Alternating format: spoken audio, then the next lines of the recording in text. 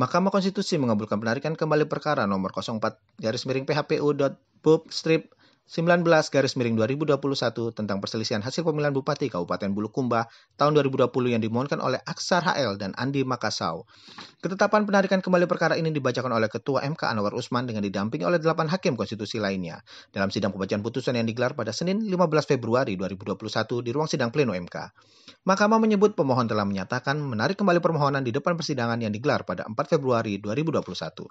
Sebelumnya pemohon ini diajukan oleh Askar HL, Andi Makasau, Jusman selaku kuasa hukumnya menyampaikan bahwa jumlah suara sah hasil penghitungan suara tahap akhir yang ditetapkan oleh KPU sebanyak 237.022 suara.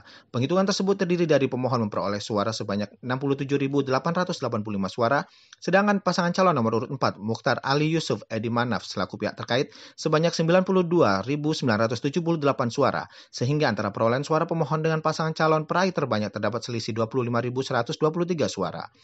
Selain itu, adanya pelanggaran TSM yang didalilkan pemohon terjadi di 10 kecamatan sekabupaten Bulukumba. Kemudian pemohon juga menduga adanya masalah jumlah selisih penghitungan suara antara pemohon dengan pihak terkait di 8 kecamatan yang mencapai 33.667 suara. Panji Erawan, Agung Sumarna, MKTV News melaporkan.